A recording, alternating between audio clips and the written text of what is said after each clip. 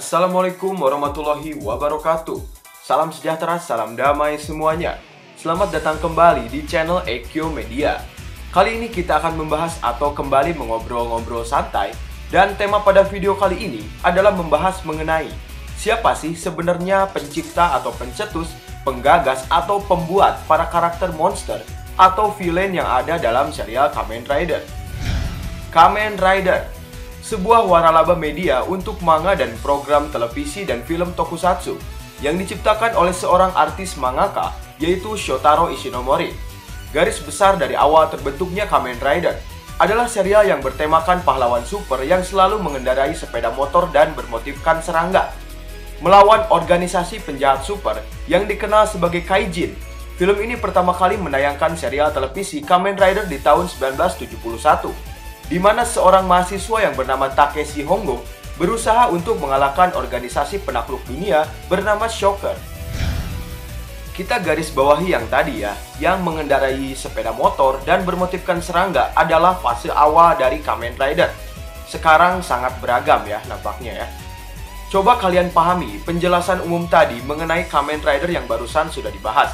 Di situ tertulis kata Kaijin dan Shocker itu artinya memang karakter villain atau monster tidak akan pernah lepas dari perhatian kita, para fans, mengenai Kamen Rider. Namun kita sering mengabaikan mengenai jasa-jasa mereka, para kreator monster-monster keren melegenda tersebut. Karakter monster atau villain Kumo Otoko, atau juga disebut sebagai Spider-Man, dalam serial pertamanya franchise Kamen Rider, yaitu Kamen Rider Ichigo. Episode pertama berjudul The Mysterious Spider-Man yang tayang pada tanggal 3 April 1971. Tercatat dalam sejarah sebagai karakter villain atau monster paling pertama yang muncul dalam serial franchise Kamen Rider. Spider-Man Kumo Otoko tersebut menculik Takeshi Hongo si Kamen Rider Ichigo dan membawanya ke markas organisasi jahat bernama Shocker, di mana Hongo menjalani proses operasi cyborg dan menjadi seorang Kamen Rider pertama. Shocker berharap Hongo akan menjadi pasukan terkuat mereka namun, saat proses pencucian otak akan berlangsung, kesalahan pada mesin atau listrik terjadi sehingga Hongo berhasil kabur dari Shocker. Kisah di episode ini berakhir dengan karakter villain Spider-Man atau Kuma Otoko tersebut akhirnya terbunuh oleh Kamen Rider Ichigo dengan Rider Kick legendaris. Ryuji Saikachi adalah aktor di balik suara khasnya Spider-Man Kumo Otoko. Voice aktor terkenal karakter villain tersebut adalah karakter pertama dalam serial Kamen Rider, dan lanjut, karakter Spider-Man Kumo Otoko tersebut diciptakan oleh seorang kreator atau mangaka dari Kamen Rider Ichigo sendiri, yaitu Shotaro Ishinomori, alias Bapak Kamen Rider.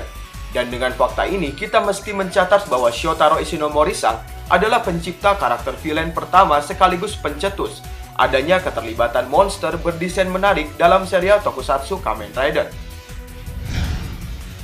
Sebelumnya, kita jelasin dulu siapa itu Shotaro Ishinomori. Shotaro Ishinomori-san, seorang visioner dan pemimpi besar. Ia lahir di daerah Tome di prefektur Miyagi, Jepang pada tanggal 25 Januari 1938. Beliau adalah seorang mangaka dan animator Jepang yang berbakat.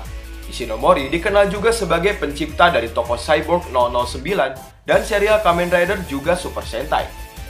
Ia menerima penghargaan manga bergengsi, yaitu Shogakukang Award, sebanyak dua kali, pada tahun 1968 untuk Sabuto Ichitori Monohikae, serta pada tahun 1988 untuk Hotei dan manga Nihon Keizai Newmon. Nama lahirnya adalah Shotaro Onodera, sebelum mengganti nama keluarga menjadi Ishinomori. Dan pada tahun 1986, ia terkenal sebagai Shotaro Ishimori. Nama itu bersambung kepada hak original dari karya-karyanya Shotaro Ishinomori atas nama Ishimori Production hak atas Ishimori itu terletak pada karya produksi manga atau anime dari Cyborg 009, serial Kikaiden, Inazuman, Schoolman, Ganbare Robocon, Voice Luger, serial komedi Toy Fushigi, serial Kamen Rider, dan entry pada awal dari serial Super Sentai. Keberhasilan serial TV Tokusatsu untuk serial kepahlawanan Super Kamen Rider diproduksi oleh Toy Company pada tahun 1971 mencetuskan kelahiran pahlawan super yang bisa Henshin atau melakukan transformasi bentuk. Pahlawan super berukuran seperti manusia biasa, namun dapat berubah bentuk setelah melakukan pose tertentu. monster atau orang jahat juga dengan mudah ditaklukkannya dengan kepandaian seni bela diri super. Ishinomori sekaligus sebagai bapak dari villain yang ada dalam serial Kamen Rider dan Super Sentai. Semua ide-ide dari monster tersebut terfikirkan ketika Ishinomori-sang sedang membangun dan menyelesaikan manganya yang berjudul The Schoolman. Karakter awal monster pada era Ichigo yang didasarkan langsung dari ide manga The Schoolman dan Crossfire banyak terlihat. Seperti pada karakter Cobra Man, Ambassador Hell, Gara Garanda, and Lion Thunder, Bear Conjure, dan para villain lainnya. Dan keseluruhan dari karakter Shocker Kaijin sebagai villain melegenda ini juga banyak ikut andil dalam manga Kamen Rider Spirit. Konsep dan ide juga penggambaran monster dari tangan hebatnya Ishinomori-sang tidak hanya berhenti sampai serial Kamen Rider Ichigo Nigo saja, tetapi terus berlanjut pada serialnya Kamen Rider V3, Kamen Rider X, Kamen Rider Stronger, Kamen Rider Sky Rider, sampai Kamen Rider Super One. Terhitung semua monster atau villain yang hadir adalah dari tangan ajaibnya Shotaro Ishinomori-sang. Hingga pada serial Kamen Rider Black RX, Shotaro Ishinomori-sang hanya menyumbangkan beberapa ide konsep saja di serial tersebut. Pengembangan karakter selanjutnya dilanjutkan oleh mangaka, master special effect, dan direktor Keita Amemiya, Ryu Noguchi, dan Tamotsu Shinohara-sang. Pada tahun di mana Kamen Rider Black RX tersebut hadir, kondisi kesehatan dari Ishinomori-sang sering mengalami penurunan, disebabkan oleh kesibukan beliau yang semakin padat saja setiap tahunnya. Namun, Ishinomori-sang tetap memantau kekhasan dari ciri villain tersebut, melalui komunikasi dalam produksi yang terus berjalan. Bahkan pada tahun sebelumnya di mana serial Kamen Rider Black hadir, nama Shotaro Ishinomori-sang tidak muncul dalam staf spesial yang menangani konten karakter villain monster. Pada serial Kamen Rider Black, kreator dan konseptor utama hanya dipegang oleh Keita Amemiya-sang saja. Dan meski yang pasti, semua khas villain ala Shotaro Ishinomori setidaknya tetap terpegang dan menjadi khas yang utama. Kreator dan desainer karakter dari Kamen Rider Black, yaitu Keita Amemiya-sang, adalah seorang konseptor, penulis naskah fiksi ilmiah, perancang karakter monster, produser, dan juga sutradara film. Dan yang harus kalian tahu, Keita-sang adalah pencipta dari serial Garo, serta desainer pakaian tokusatsu yang merangkup menjadi sutradara dan penulis episode TV tokusatsu. Hebat ya! Keita Amemiya-sang sangat menghormati dan kagum terhadap desain bertemakan serangga miliknya Shotaro Ishinomori Bahkan yang menarik adalah ketika Keita Amemiya-sang mengaku terobsesi dengan corak atau motif serangga pada khasnya Princess Kamen Rider. Pada saat rapat, ide karakter serial Kamen Rider Black RX ialah membuat konsep utama figur RX menjadi lebih organik dan lebih seperti serangga dalam desain dan variasi desainnya. Meski akhirnya ide tersebut ditolak oleh Toy Company dan tidak digunakan. Mungkin sekarang Bapak Keita Amemiya-sang makin geleng-geleng kepala ya Melihat tema motif serangga yang ia jago-jagokan, jadi tidak ada lagi di serial Kamen Rider, hilang khas awalnya. Dan terlebih pada era Heisei setelah Kamen Rider Decade dan hmm, Kamen Rider Reiwa, semakin jauh dari motif awalnya Sotaro Ishinomori-sang. Dan Shotaro Ishinomori-sang meninggal dunia pada tahun 1998 di saat serial Kamen Rider sedang dalam masa-masanya hiatus yang bertepatan pada pergantian era Showa kepada era Heisei movie Kamen Rider Shin, Kamen Rider ZOO, dan Kamen Rider J digadang-gadang sebagai movie terakhir yang lebih mengadaptasi gaya gambar dari Shotaro Ishinomori. Dan konsep gambar karakter monster sendiri dalam ketiga film tersebut diciptakan oleh mangaka dan desainer karakter bernama Takayuki Takea, di mana Takayuki-sang juga merupakan seorang konseptor dan skulptor dari lini action figure super imajinatif Chogokin Figure atau yang lebih dikenal sebagai SIC. Tahu ya? Dan yang lebih kerennya lagi, Takayuki Sang adalah desainer dari karakter-karakter horor dari serialnya Garo. Hak serial Kamen Rider masih dalam pegangan Ishimori Production. Dan katanya, konsep motif villain khas Ishinomori Sang sendiri sedikitnya masih diambil dan terus diadaptasi oleh serial Kamen Rider sampai sekarang. Masih diadaptasi itu kan? Yuk lanjut lagi kepada perkembangan konsep dan para kreator-kreator villain dan monster Kamen Rider pada era Heisei. Tepatnya pada saat penayangan series Kamen Rider Kuga, format monster atau villain yang bernama Grongi ini, konsep dan bentuk karakternya masih berdasarkan pada saripati murni monster-monster era Showa. Format karakter khas Grongi dipimpin oleh tim Ishimori Production sendiri. Pada serial Kuga, terlibat cukup banyak juga para desainer karakter dan konseptor profesional seperti Takuya Abe, Koji Ida, Tsuyoshi Nonaka, Tetsuya Aoki, Kazuya Suzuki, dan Kazue Takeuchi. Dan khusus untuk Takuya Abe-san, ia juga merupakan konseptor dari huruf linto yang ada di serial Kuga. Huruf linto itu adalah huruf yang terdiri seperti logo-logo. Oke, lanjut pada karakter monster atau villain yang dikenal dengan sebutan Lord pada serial Kamen Rider Agito. Kreator utama pada serial ini dipegang oleh Yutaka Izuguchi dan Takuhito Kusanagi.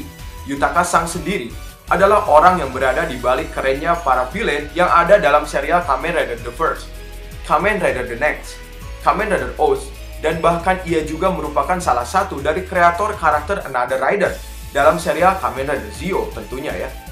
Nah, bagaimana untuk desainer monster sesudah Agito sampai saat ini? Jika kita mengingat bahwa pada era Showa, tanggung jawab besar dalam adanya karakter monster hebat dipegang oleh Ishinomori Shotaro Sang sendiri sebagai Bapak Kamen Rider. Maka gelar untuk pencipta terbanyak karakter monster dalam era Heisei jatuh ke tangan seorang bapak multitalenta bernama Tamotsu Shinohara. Pokoknya ia bisa dibilang orang yang sangat berpengaruh terhadap karakter monster dan villain dalam serial Kamen Rider pada era Heisei. Sepak terjang dari Tamotsu Shinohara sendiri dimulai ketika ia dipercayai sebagai konseptor dan eksekutor dari beberapa karakter monster Crisis Empire dalam serial Kamen Rider Black RX. Lalu pada tahun 2002, pada saat Kamen Rider Yuki berlangsung, Tamotsu Shinohara Sang dipercaya untuk menjadi konseptor dan eksekutor dari desain-desain karakternya Mirror Monster. Jadi orang yang sebenarnya menciptakan Mirror Monster itu bukanlah Shiro Kanzaki, tapi Tamotsu Shinohara Sang ya. Lanjut lagi nih, karena reputasi dan kemahiran dari tangan emasnya Tamotsu Shinohara Sang dalam Kamen Rider Yuki, ia kembali dipercaya untuk membuat semua karakter monster dalam serialnya Kamen Rider Faiz, yaitu para Orpenok. Dan dalam serial Kamen Rider Blade, Tamotsu Shinohara Sang bekerja bersama dengan Yasushi Nirasawa dan Koji Ida untuk membuat karakter-karakter monster undead pada serialnya Kiva, Tamotsu Shinohara Sang menjadi seorang desainer karakter full dari Monster Penjir dan Arm Monster. Dan dilanjut lagi keterlibatan Tamotsu Shinohara Sang pada serial Kamen Rider Decade, Kamen Rider Oz, Kamen Rider Gaib, dan ia juga pembuat karakter game Deus pada serial Kamen Rider XA.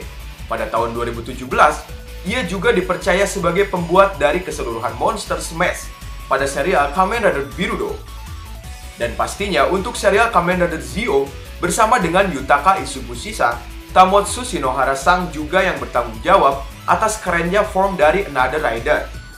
Nah, bagaimana untuk serial lain selain yang disebutkan di atas? Yaitu seperti pada serial Kamen Rider Hibiki dengan monster Makamonya, Kamen Rider Kabuto dengan monster Worm, Kamen Rider Deno dengan para Imagine dan Gigandet, Kamen Rider Drive dengan monster Roid Moon-nya, dan Wizard dengan Phantom-nya. Siapa yang buat?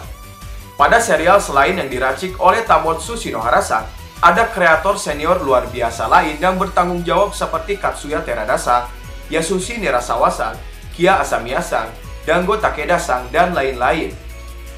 Dan itulah pembahasan kami mengenai siapa sih sebenarnya orang di balik layar yang ternyata sangat bertanggung jawab dalam kehebatan karakter dari monster-monster dalam franchise Kamen Rider. Yang pasti sangat jarang untuk diketahui. Padahal kalian bisa lihat sendiri jasa mereka dalam tayangan Kamen Rider terbukti sangat-sangat besar. Paling tidak, kami harap setelah kalian menonton video dari kami ini, sedikitnya kalian jadi tahu siapa mereka. Ya cukup segitu saja ngobrol-ngobrol santai dalam video kali ini. Silakan apabila kalian ingin request sesuatu untuk kami bahas, silakan ditulis di kolom komentar. Jangan lupa klik like, komen, dan subscribe pada channel kami ini. Terus bantu kami untuk membuat konten-konten berkualitas. Akhir kata, salam pecinta tokusatsu. Sampai jumpa di video-video berikutnya. Assalamualaikum.